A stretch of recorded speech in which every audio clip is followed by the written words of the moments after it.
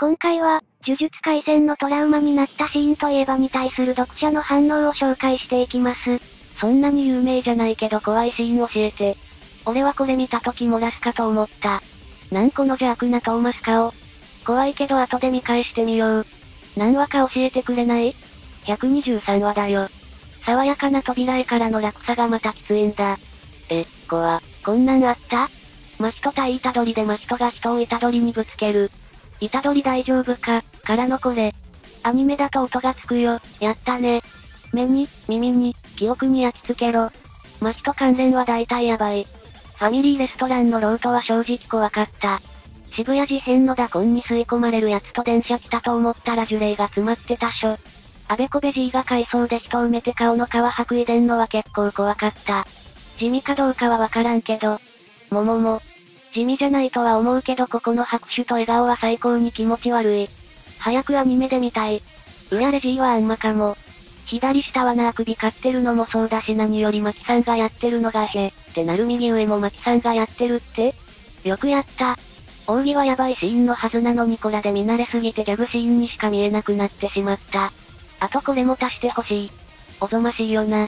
目立つ効果音が斬撃じゃなくて人間の形を保てなくなった双子片割れから溢れ出した全身の血が落ちる音の方ってあたり絶対的なボーイの片鱗見せつけてきたなって感じ。生首の口開いてるのがもう閉じることを維持できないからという生々しさで差がある。怖いというか痛いなんだけど東堂が片手ないのにブラフでブギウギするシーンが擬音含めてツアーいって思ってしまってすんごい苦手。わかる。土って効果音込みで通奏すぎて縮み上がっちゃう。あそこ最後までやってくれるやん東堂。ってなってたからあまり気にならなかったわ。いやでも改めて見直すと痛いな。地味なのかどうかはわからんけど、下等が霊感で顔を呪霊に吸わせて殺させたシーンは映画だと音と囲みでエグくてゾッとした。目も追いたくなるような死に方した人を、ぐちゃぐちゃになってる死体を、しらっとした目で見て会話してる下等たちの人間性も怖いなって思った。怖くないけどトラウマならリコちゃん撃たれたシーンマジで辛かった。あの自分がいつ死んだのかわからないような笑顔が辛いよね。巻き無双の最初に両手切られてあれれ？ってなってた人。何が起きたのか理解が追いつかなかったんだろうな。芋虫にしちゃいそう発言からのこれは趣味最悪すぎるんよ。露悪的なシーンは大体マキと関連だよね。我々が今毎週コラ祭りやってゲラゲラできてるのは、マキトが退場したことで露悪的な話とそれに伴う精神的なストレスが現状減ってるのもでかそう。稲子貝が補助監督を食べてるところ。手がビクビクしてるから生きたまま頭から食われたんだなって思ってゾッとした。ダゴンがおじいちゃんに殴られて全部吐くシーン怖かった。すごい食ってたなと思ったらページめくると目の前が骨で埋まってるって二段構えになってるやつ。散々ネタにされてるけど初見時のインパクトやばかった。渋谷事変でダコンちゃんが大量の人骨を吐き出してるシーンが怖くて好きだ。可愛い見た目の子がえげつない食い方してるのがたまんない呪術はクリーチャー萌えに刺さる部分が多くて良いよね。このスレ見てると、2期を夕方放送すんのはマジで無理だと思う。欠損、流血どころじゃねえぞ。心配しなくても夕方にはやらないと思うよ。アニメのファミレス上後は子供の時見たらトラウマになりそう。ここら辺毎週ドキドキして見てたから結果こうなって辛かったよ。全然地味な、のポジションじゃない。このスレ見てるとすごい気持ち悪くなってくるな。それと同時に呪術ってすごい漫画が上手かったんだなって関心の気持ちも湧いてくるわ。児童クラブ勤めなんだけど置いてあるジャンプに全員毛深いシーンあって知ってなった。今の子平気なんかな平気ちゃうよな。心配。まあ初期のナルトもかなりえげつないシーンあったし平気やろ。DB とかもグロいシーンはたまにあったし。確かに。少年誌グロはどの世代も通るっちゃ通るもんね。ただ味方サイドであるマキさんがスプラッタ無双してるあたりにおう。ってなっちゃったんよ。渋谷以降からこういうシーン増えた印象。1話からやばい。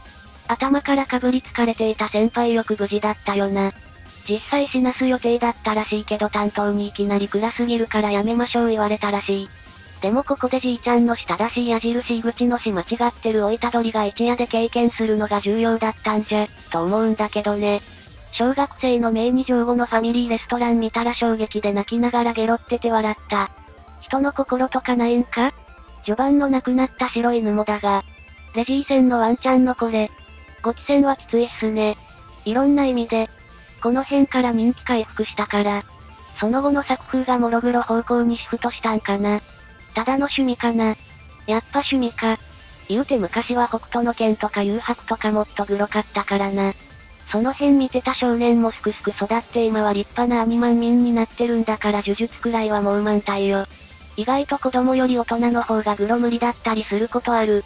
いじめシーン全般辛いけど。ここはもうアウトオブアウトだった。呪霊は怪獣みたいなもんと思えば平気なんだけど人間の悪意系はマジで辛いわ。7人生きてた。からの。いやいや地味じゃない地味じゃない。派手にトラウマなので未だに立ち直れません。7人どうして、へ、ってなるよねなった。これでも子供人気得てハッピーハッピーやんけ。火山が瞬殺された場面。あんなに強いのに悟るや宿儺には手も足も出ない。真人とかもグロいけどそれ以上に拝みバーがおぞましいと感じたな。こいつ掘り下げたらめちゃくちゃエグい面だらけになりそう。拝みバー初登場時に犠牲になった父娘はやっぱそういう関係だったのか今でも気になる。拝みバーは単行本の幕愛に書かれて卵は赤ん坊を拾って血縁を偽ったで減ってなったし、その後のそういう孫が何人もいるでうわーって。絵はグロくないが展開がグロい。メカ丸のコックピットぶち破ってきた時の真人の笑顔かな。ファミレスのシーンあったかは頭火山はずっと嫌い。払われた時はすっきりした。アニメで必死で出口まで逃げたところで燃やされた女性店員さんがかわいそうだったな。小上バーとアベコベジジイの過去回想はエグさとクズさが簡潔に描写されててとても良かった。ゴキブリキスはゾワッときた。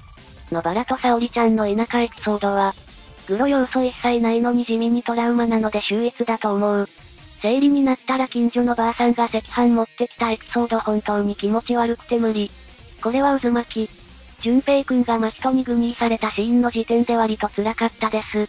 闇落ちライバル枠的なポジションになって物語の途中で死ぬんやろなとか予想はしてたけど、あまりにもあっけなく死んでしまって読んでた当時は理解が追いつかなかった今思えば結構愛着湧いてたんだな愚かではあったけど全部が全部悪いというわけではなくてもう少し早く虎取と手を取り合うことができたならば全然味方側になれた気はするよな。そんな淡い期待を持ちながらこいつがバカだから呪いに利用されて丸ぬで納得せざるを得なくてめちゃくちゃ辛かった。地味なだったら、ジョーゴが吸ってた人間パイプ。小さくいやーみたいなセリフが書いてあるのがよりおぞましい。ま人からのプレゼントなんやろうなやっぱ呪術とあってキモいグロいシーン多いな。もう見たくないシーンがいくつもある。渋谷事変終わってからホラー要素はなくなったのが悲しい。ヒットしすぎて嫌悪感が出てくるキャラをあえて描かなくなったのかな。グロいはグロいけど、敵が呪霊じゃなくて人間にシフトしていったからホラー要素が薄れたのかと思ってる。これだな。コロニーに突入した米軍が呪霊と遭遇した時はちゃんとホラーしてたし、呪霊がちょっとホラーテイストにしたかっこいいモンスターじゃなくて醜悪さ気味悪さを凝り固めた奇形生物って感じで人の負の感情から生まれてるんだなと納得させてくれる。クロール氏は見るのもきつくてこの辺の戦い全部読み飛ばしちゃったな。乙骨の戦いは見たかったんだけど。最近出てきて印象に残ってるホラーシーンは国民総務課で呪霊と花の子供時代の呪霊ぐらいだな。